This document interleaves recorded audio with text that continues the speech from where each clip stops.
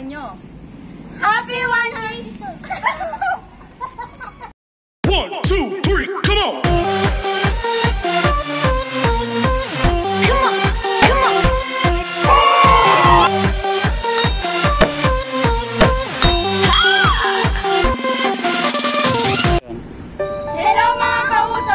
Maraming salamat po sa walang sawang suporta nyo. Happy 1K subscriber!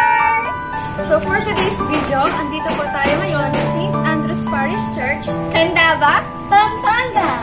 So kung bago po kayo sa channel na to, huwag niyong kalimutang Like, mag-share subscribe, and ring the tiny bell para ma-update kayo sa mga upcoming videos.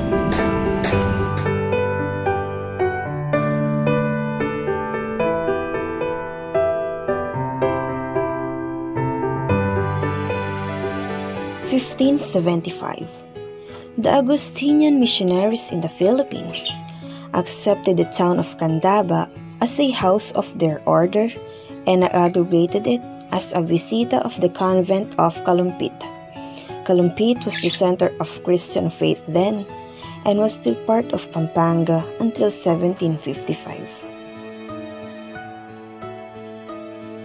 1665 Fray Jose de la Cruz, OSA, started the construction of the present church edifice, which was completed in the year 1669. He also led the building of the churches of Betis and Mexico. 1596 The convent of Candaba was converted into a school called Estudio Grammatica or Grammar School. The school was transferred to Lubao on a later date. 1881 Fray Antonio Bravo OSA led the building of the three-story church belfry. The first two bells, dedicated to the Nuestra Señora de Consolacion and to San Agustin, were bestowed by Fray Esteban Ibias OSA. The inscription on the bell, dedicated to San Agustin, reads San Agustin Siendro Cura Paroco, ELMB Esteban Ibias, 1881, Hilario Sunico. Other bells dedicated to El Sagrado Corazon de Jesus. San Jose and San Andres were donated afterwards.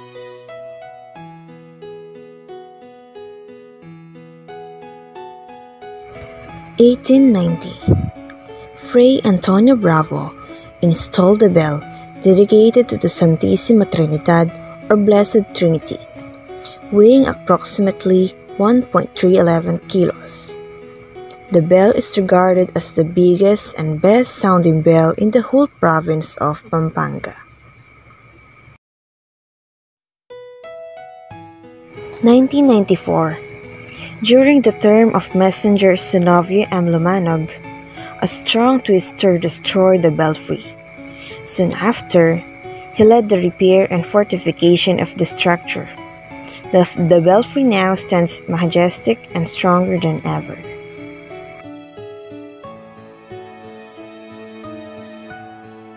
Nineteen forty-six. During the term of Reverend Father Felipe Roque, the old Spanish convent was converted into a school named St. Andrew's Academy, now St. Andrew's Archdiocesan School of Candaba. 1599 Fray Mateo Peralta, OSA, give a contribution of 100 pesos and 100 bushel of rice to San Agustin Monastery in Intramuros, Manila, on behalf of the faithful of Candaba. 1960 The church dome was severely damaged by a strong typhoon that hit Central Luzon. Reverend Father Bienvenido Macalindol decided to have the church dome removed due to the danger that it imposes to churchgoers. The damaged old church roof was also renovated during his term. 1897 The parish administration was transferred to Filipino secular clergy. Father Eulogio Ocampo became the parish priest of Candaba. 1878, Fray Esteban Ibias OSA commissioned the construction of the grandiose church dome. 1996, the stage was constructed in the patio, followed by extensive landscaping around the church's vicinity. On this year, the church patio was named as Marian Park. 2004, Reverend Father Diosdado Austria led the construction of the Chapel of the Holy Eucharist at the back of the church belfry. 2015, the people of Candaba commemorated the 440th founding anniversary of St. Andrew Parish through a Thanksgiving Mass presided by Most Reverend Florentino Lavarias, Archbishop of San Fernando, and other activities in celebration of the parish's rich history.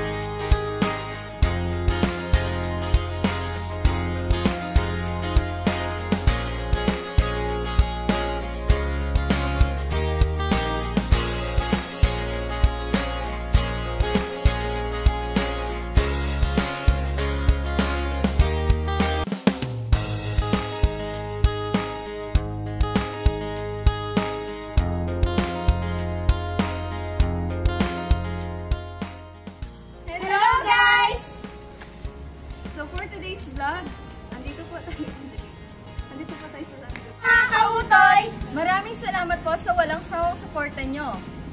happy one day! Hello mga kautoy! Maraming salamat po sa walang sawang suporta nyo. Happy 1K subscribers! Yeah! Ten, ten, ten.